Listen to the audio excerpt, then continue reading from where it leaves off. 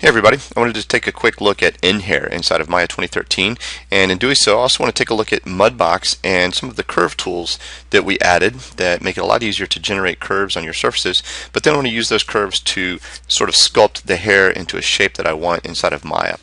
So let's just kind of take a quick overview at the way nHair works inside of Maya. In this case I've got a character with just sort of this skull cap that's attached to his, his rig and what I want to do is populate that with some hair. So if I just go to my nDynamics menu and go into my nHair menus you can see that uh, we've essentially stuck with the same tool layout that we had in the classic hair. We've even got a classic hair menu at the bottom. But uh, this should make it really easy. If you've ever used Maya's hair tools in the past, you'll recognize all of the, the tools that we've added in here. So you can make selected curves dynamic and attach them to surfaces. You can also uh, create paint effects as well as NURBS curves in both. And in, that's, in this case, that's exactly what we're going to do. We're going to create a new hair system and uh, make sure, of course, if you want to create it at selected points, yeah, you can see those options in there. Basically all the same options that we had before. And when we create those hairs, the main difference now is that we're tied to a nucleus solver. So what that allows us to do is react to anything that is tied to that same solver without doing any extra work. So if we had a field, uh, well in this case the field is built into the nucleus solver just like it always has been. So we have gravity, wind speed, uh, all of the different things that are tied to nCloth and nParticles. but now the collisions and things also react to those within the same system. So let's convert our mesh to an a passive collider. Now these hair systems, without any extra work, uh, this hair system will collide with this face. So let's go ahead and hit playback. Uh, we use our interactive playback, and you can see right away that um, those hair follicles bounce and react the way you would expect. So that's pretty cool. But let's take a look at what we can do with that. If we rewind, and open up our hair system shape. First of all, first of all, we've got self collide, and that's a, a nice feature. Uh, we've got the ability to display things like the, the collision thickness, um, the different self collision thickness, and so forth, similar to the way we can with nCloth and nParticles. And what we'll start doing, let's change the look of this a little bit. We can increase the number of hairs that go into each one of the clumps. Uh, we can change the width scale. Of course, we can overdrive these values. If I want a wider base, we can do that. Uh, we can have thinning. A lot of different things. Like I said, very similar to what our, our previous hair system offered with the exception of being able to sort of maintain that volume because of the self collision, but also being able to uh, react to n-rigids without going through a lot of extra effort. So that, that should save a lot of time. But one thing I want to do in this particular case is make our hair system, and I'm actually going to go in and delete this particular hair system by going into my menu and saying I want to delete the entire hair system. And I'm going to delete the nucleus node in this case as well. And one thing I want to do is actually mimic the hair that we have here. Now in this case this is sort of a, a games type character, but if I wanted to create some marketing material that had a little bit more realistic type hair uh, or represented uh, this shape of this uh, hair a little bit more, you can see it might be a little uh, difficult to do using those follicles that I had before. So one way of, of creating some curves to pass those follicles along is to pull curves from the surface. So I can go in and uh, convert with my modify menu uh, these edges, these poly edges to curves. That's one way of generating these curves. Or I could make the surface live. Uh, we could go in and just use the status line and just hit that magnet button and then go to my curve tools and then click on the surface and create curves that way. But it's not quite as freeform and I might not get exactly the shape that I want. So one of the things that we added inside of Mudbox 2012 is the ability to create curves directly on the surface uh, with a little extra control. So that's what I decided to do in this case. So we'll just take this surface and we'll send it over to Mudbox as a new scene. And here's the surface over in Mudbox. Now I've uh, turned the texture off or, deleted the texture so we can see it a little bit better, uh, see a little bit better what I'm actually going to do because I really just want the curves, not this surface. That's what I'm interested in. And in Mudbox 2013, what we've done is added a new curve tab down at the bottom.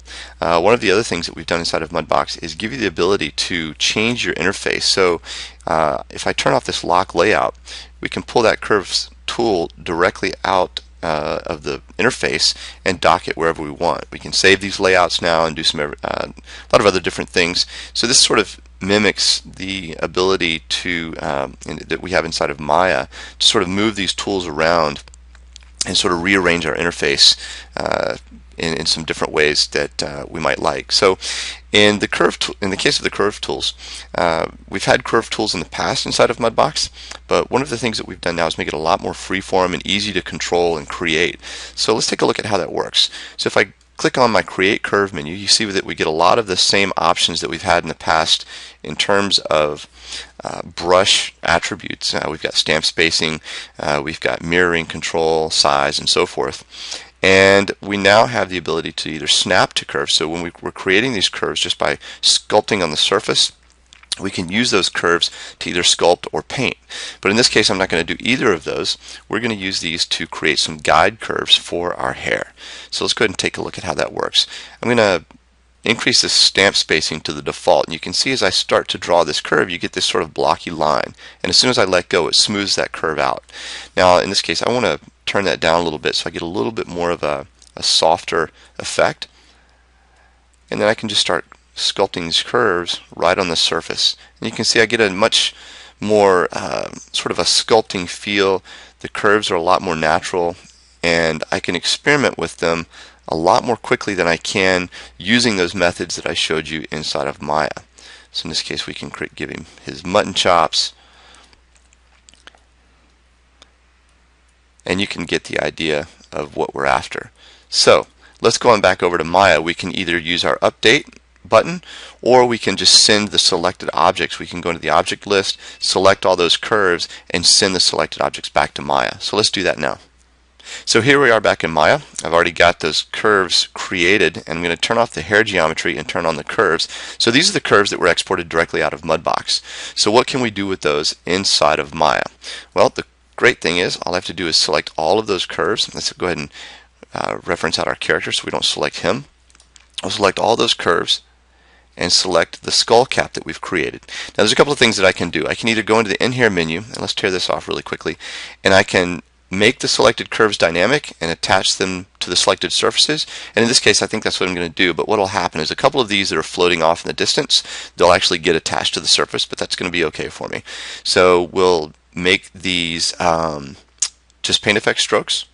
And once I do this, you'll see that we'll get a lot of little curves on the surface. And what we need to do in this case is just go into our hair system. First off, instead of one hair per clump, we actually want to increase that and increase our clump width. So right away you can see we get a much better representation of the shape of the hair that matches our geometry. Uh, let's increase the clump width scale. And because we have this expandable graph widget, we can really get in and start to refine how this looks. So let's take this and make it um, smooth. We'll take this tip, and you can see we can have, we have total control over the tip of this. Let's make that smooth. And I might not want that kink in there, so we'll make that uh, either linear or spline. That'll work. And essentially go in and refine what that shape looks like at a pretty high level. And then once we're done there, we might want to thin it out so it doesn't look quite so uh, so perfect. And we can change things like um, you know the clump twist, the, the clump clump twist rather. And on a per follicle basis, we can go in and let's grab say uh, a follicle here. Now one of the th things that we might want to do is just to make it a little easier to see is to turn off the strokes and grab one of those follicles and you can see that uh, that shows up in my menu. And then we'll turn back the strokes one more time. And then we can go in and change things like the clump width multiplier. So that one clump if we want that one to be really big we can do that uh, or thin. Uh, we can change the density of the the hair. So if we were more interested in the maybe the hair in the front we can increase the density of that and do things like the curl. We can change the the twist offset and so forth. So if that you know, we want to twist that one clump, we can do that really easily. From here, uh, it's really easy to go in and change things like the shading because that's um, going to be important when it comes to rendering.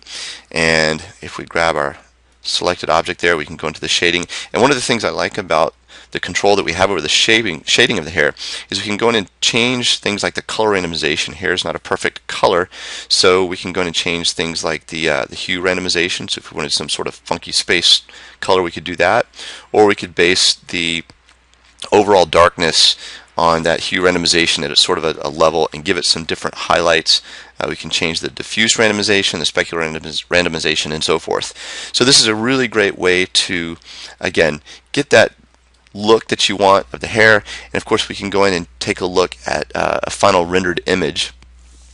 We get a little bit closer to uh, a representation of the hair that uh, that we want. It's a little bit dark, but I was trying to match um, the look of the actual geometry, the texture that's on the geometry, and we have a little bit of highlighting in there and, and some other things.